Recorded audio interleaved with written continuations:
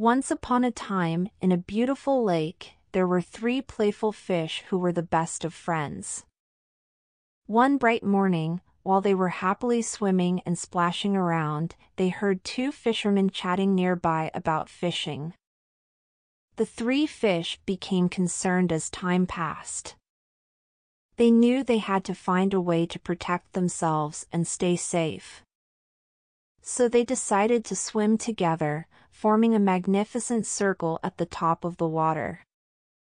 The fishermen, unaware of the fish's plan, arrived at the lake full of excitement.